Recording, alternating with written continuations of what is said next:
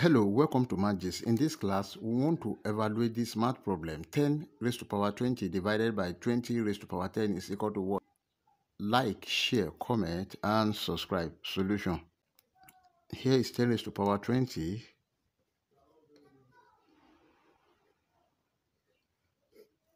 over 20 raised to power 10 can be written as 2 multiplied by 10 raised to power 10 then this is equal to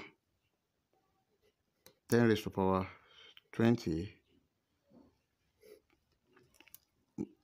over 2 raised to power 10 multiplied by 10 raised to power 10 then let's place this.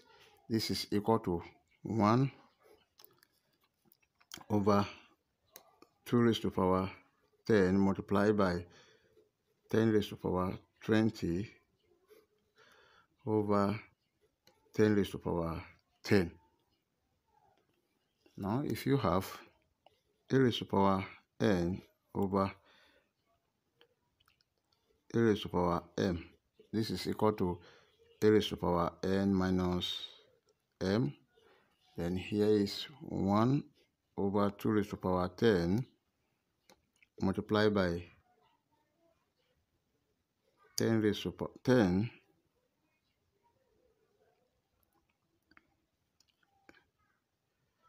raised to power 20 minus 10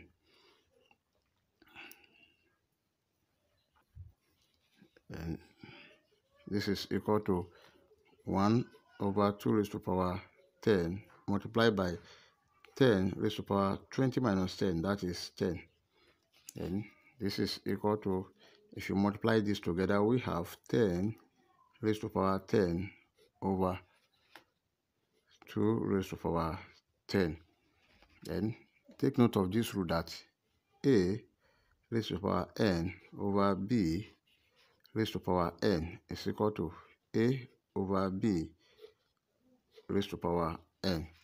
And here is 10 over 2 or raised to power 10 2 here 1 2 here 5 and this is equal to 5 raised to power 10 and that is our final answer.